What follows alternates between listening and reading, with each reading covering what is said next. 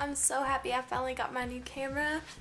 It's awesome, so much better than my old one. It was not working out. I had to go to the post office today for the first time to ship something.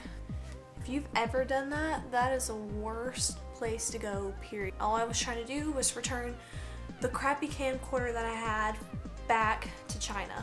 And that was hell, and their address is really weird. Also went out to eat today.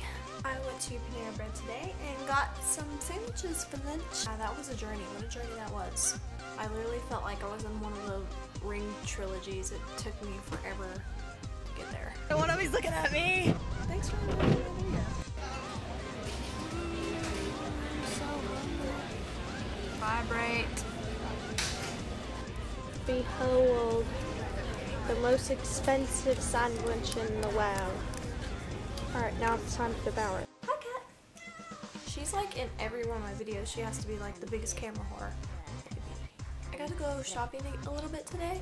They had some after Christmas sales going on, so I got this top, little bubblegum top, and let's see, what else did I get?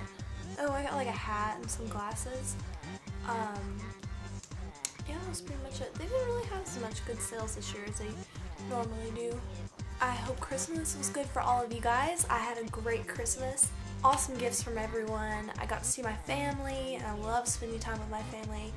Also, I got them awesome gifts and they loved it and I don't think I had to take back anything this year, so that's great. I love my bed. The reason why I really love it is because it was my mom's when she was little and it's an antique and my um my grandmother uh, let me have it. I just love this thing. It's driving me crazy. It's so cool. It really wasn't that much either. It's pretty reasonable. So much better quality.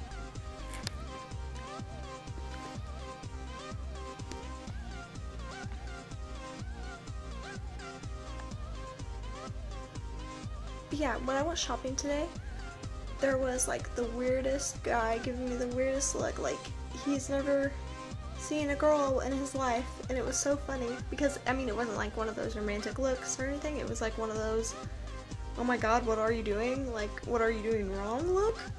He was just like, and before I could even say anything, he was all like twenty-four dollars. And I'm like, I didn't even order yet. Also, having this great camera, I can actually do hair, makeup, whatever tutorials, whatever you guys want to learn. Um, I'll do a tutorial doing this eye makeup not long from now.